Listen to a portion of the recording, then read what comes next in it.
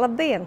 Es esmu Ieva Āva, mākslas eksperta, un mēs atrodamies Rakstniecības un mūzikas muzeja pagaidu ēkas pagalmā, kas kādreiz ir bijusi zivju pārstrādes rūpnīca, kāja, un mums aiz muguras ir rūpnīcas vecie korpusi. Ar zvejniecības tēmu saistīts ir arī mūsu izvēlētais mēneša priekšmets. Kā mēs visi zinām, tad jūlija otrajā sestdienā visā Latvijā pie jūras pilsētās tiek svinēti zvejnieks svētki, jeb mm, jūrniecības diena. Un man rokās ir ļoti neparasts koka e, veidojums, kurš pirmajā mirklī liekas, ka viņu krastā ir izskalojis jūriņa, bet patiesībā tas ir ļoti e, praktisks un funkcionāls zvejniecības priekšmets, kuru sauc par bloku, izmanto buru, burniecības takalāžā smaguma celšanai. Kā mēs redzam, pēc kokā uh, izgrebtā veltījuma, tad šo priekšmetu rakstnieks Ēriks Kūlis ir dāvinājis savam līdzgaitniekam literatūrā, arī liepājniekam Egonam Līvam, kura radošā un pat praktiskā darbība visu mūžu garumā ir bijusi saistīta ar jūras, jeb marīnisma tēmu.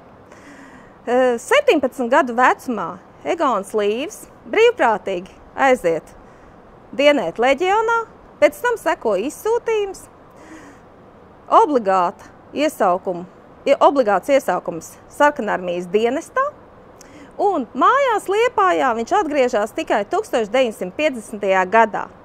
Strādā zvejnieku kolhozā Boļševiks un pabeidz kuģi mehāniķu kursus. Sāk rakstīt.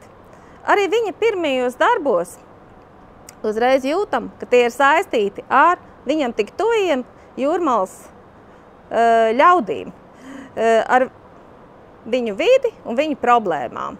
Garstāsts kapteinis Nulle drīz vien tiek ekranizēts un to pirmā latviešu platekrāna filma Leonīda Lēmeņa režijā 1964. gadā. Nākamais vērienīgais darbs ir romāns Velna kaldu vīņi, kuru mm, e, Egons Līvs arī velta jūrmalniekiem. Tas ir romāns par uh, pēdējo uh, gadu kurzemes katlā. Darbība notiek vientuļā kurzemes uh, ciematā, parādās ļauži, viņa pretrunīgie likteņi. E, šis romāns uznes Egonu Līvu popularitātes virsotnēs. Cita starpā Egonu Līvu labvēlības seko savam jaunākajam amatbrāli Ērikam Kūlim. Ar viņu viņš iepazīstās 1960. gadā Liepājas jauno literāta apvienībā, kur vēl gluži zēniskais rūpnīcas strādnieks Ēriks Kūlis sāk nest savus pirmu publicēt un vēlāk publicēja laikrakstā komunists savus pirmos stāstus. Savukārt 1975. gadā Egons Līvs raksta rekomendāciju Rakstnieku savienībai, kur apliecina Ērika Kūļa nenoliedzamās rakstnieka dotības un arī spēju savienot 8 stundu darba dienu rūpnīcā sarkanais metalurgs ar rakstīšanas praksi. 1984. gads eh, Tātad, kas ir arī šī bloka nozīmīgais gada skaitlis, e, ir nozīmīgs abiem diviem rakstniekiem sadarbības jomā.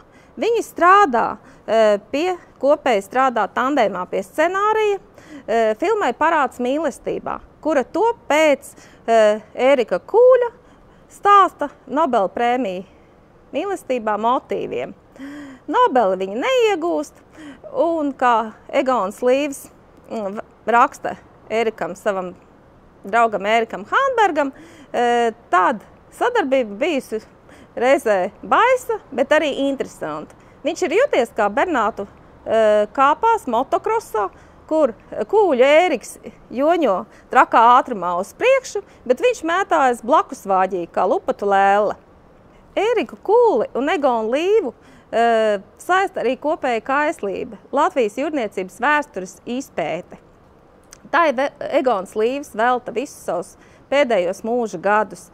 Viņš tiekās ar veciem jūras vilkiem, ieraksta sarunas, vāc fotogrāfijas. Lūk, ieskatām dažas no viņām.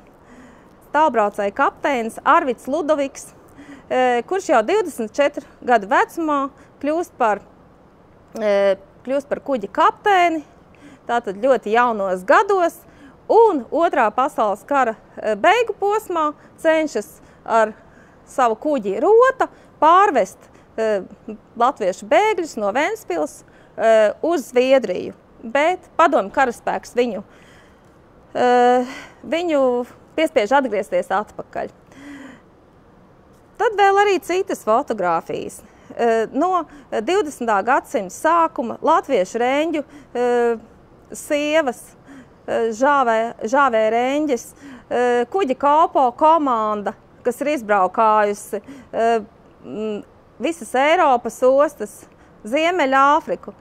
Egonam Līvam tā nav, tās nav bijušas tikai spožas latviešu kuģniecības vēstures liecības, bet arī rūpe par šīs, par šīs tradīcijas, par latviešiem tuvā jūrniecības aroda atzimšanu un atjaunošanu nākotnē, jo okupācijas vara to bija iznīcinājusi. Tāpēc viņa priekšlikums un rosinājums ir atkal jāatjauno latviešu zvejniecības tradīcijas, jādibina latviešiem jūrskolas, kur mācības notiek latviešu valodā.